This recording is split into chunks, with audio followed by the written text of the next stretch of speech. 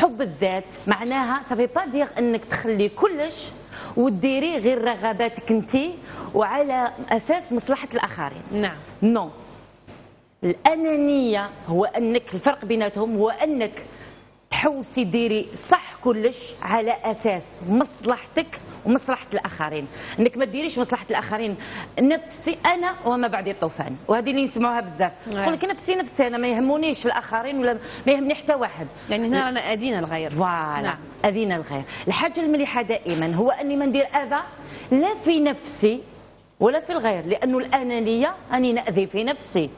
عندما كي نأذي نفسي آه خلاص نضرها بها بالأنانية تاعي ونحسب روحي وحاجة إمكانيات. ما فياش صفات ما فياش وأنا أتباهى بهم. نقول سي أنا أنا شابة. أنا عندي هاد هاد la qualité بصح هي الناس. اللي حواليا يشوفوا بلي هذيك la qualité ما ما كاش. كاشها فيا.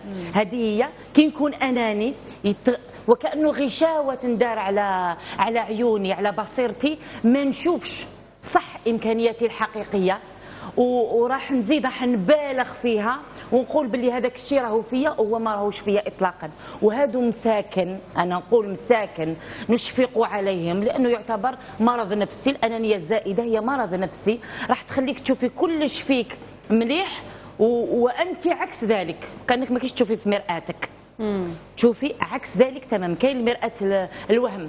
شغل تشوفي أمم أنا هايلة أنا مليحة أنا أنا عندي هذه الصفه أنا عندي هذه الصفه وهي ما يعني عندهاش تكذب. على روحك. تكذب على روحك ومن بعد تولي ضحية تاع نفسك. هذه في الأنانية.